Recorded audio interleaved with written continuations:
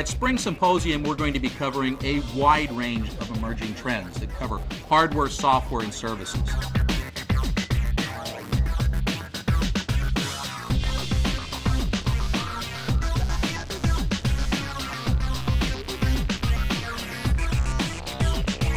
One area in particular that looks to be a very disruptive arena uh, is the world of social networking. We're moving beyond the ivory tower view towards information where it's just for senior management and analysts.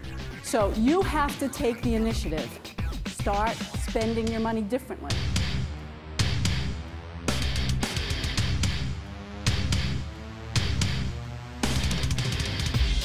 IT professionals should come to the Spring Symposium IT Expo because we're going to be talking about the new innovative and breakthrough technology uh, areas that are going to have an effect on your business.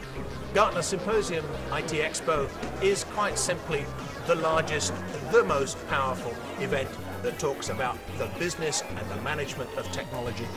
If you have anything to do with the management and leadership of IT, you should come.